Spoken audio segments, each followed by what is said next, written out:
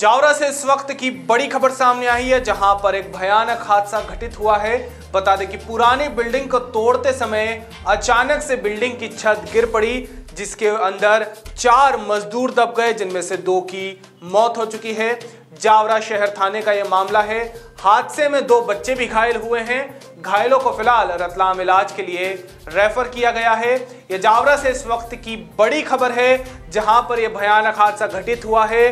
पुरानी बिल्डिंग को तोड़ते समय अचानक से उस बिल्डिंग की छत गिर पड़ी और छत चार मजदूरों के ऊपर गिरी, जिसमें से दो की मौके पर ही मौत हो गई। बता दें, जावरा शहर थाने का यह मामला है। हादसे में दो बच्चे भी घायल हुए हैं। घायलों को रतलाम रेफर कर दिया गया है।